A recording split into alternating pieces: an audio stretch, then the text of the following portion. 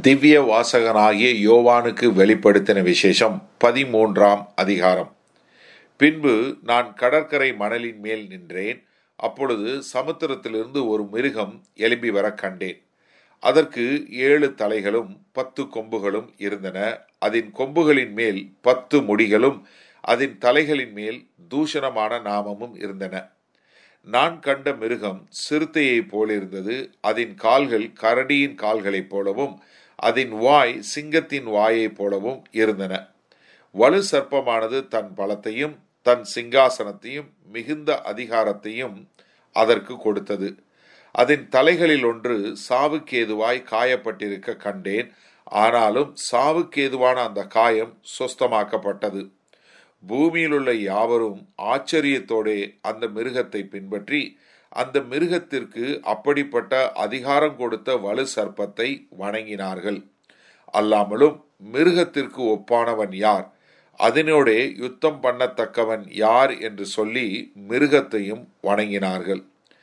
பெருமையானவைகளையும் தூசணங்களையும் பேசும் வாய் அதற்கு கொடுக்கப்பட்டது. அல்லாமலும் நாற்பத்தி இரண்டு மாதம் யுத்தம் பண்ண அதற்கு அதிகாரம் கொடுக்கப்பட்டது.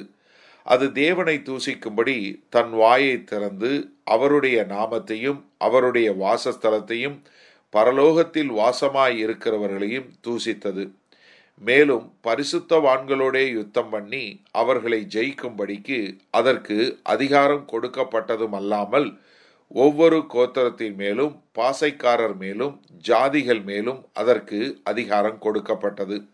உலகத் தோற்றம் முதல் அடிக்கப்பட்ட ஆட்டுக்குட்டியினுடைய ஜீவ புஸ்தகத்தில் பேரெழுதப்பட்டிராத பூமியின் குடிகள் யாவரும் அதை வணங்குவார்கள். காதுள்ளவனெவனோ அவன் கேட்க கடவன். சிறைப்படுத்தி கொண்டு போகிறவன் சிறைப்பட்டு போவான். பட்டயத்தினாலே கொல்லுகிறவன் பட்டயத்தினாலே கொல்லப்பட வேண்டும். பரிசுத்தவான்களுடைய பொறுமையும் விசுவாசமும் இதிலே விளங்கும். பின்பு வேறொரு மிருகம் பூமியிலிருந்து எழும்ப கண்டேன். அது ஒரு ஆட்டுக்குட்டிக்கு ஒப்பாக இரண்டு கொம்புகளுடையதாய் இருந்தது வலு சர்ப்பத்தை போல பேசினது. அது முந்தின மிருகத்தின் அதிகாரம் முழுவதையும் அதன் முன்பாக நடப்பித்து சாவுக்கேதுவான காயம் ஆற சொஸ்தமடைந்த முந்தின மிருகத்தை பூமியும் அதன் குடிகளும் வணங்கும்படிக்கு செய்தது. அன்றியும் அது மனுஷருக்கு முன்பாக வானத்திலிருந்து பூமியின் மேல் அக்கினியை இறங்க பண்ணத்தக்கதாக பெரிய அற்புதங்களை நடப்பித்து மிருகத்தின் முன்பாக அந்த அற்புதங்களை செய்யும்படி தனக்கு கொடுக்கப்பட்ட சத்துவத்தினாலே பூமியின் குடிகளை மோசம் போக்கி பட்டயத்தினாலே காயப்பட்டு பிழைத்த மிருகத்திற்கு ஒரு சொரூபம் பண்ண வேண்டுமென்று பூமியின் குடிகளுக்கு சொல்லிற்று.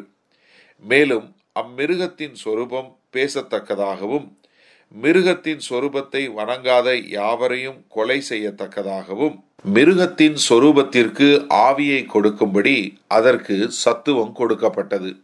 அது சிறியோர் பெரியோர் ஐஸ்வர்யவான்கள் தரித்திரர் சுயாதீனர் அடிமைகள் இவர்கள் யாவரும் தங்கள் தங்கள் வலது கைகளிலாவது நெற்றிகளிலாவது ஒரு முத்திரையை பெறும்படிக்கும் அந்த மிருகத்தின் முத்திரையாவது அதன் நாமத்தையாவது அதன் நாமத்தின் லக்கத்தையாவது தரித்து கொள்ளுகிறவன் தவிர வேறொருவனும் கொல்லவும் விற்கவும் கூடாதபடிக்கு செய்தது.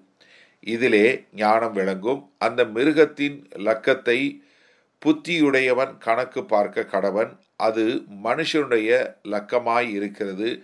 அதனுடைய லக்கம் அறுநூற்று அறுபத்து ஆறு.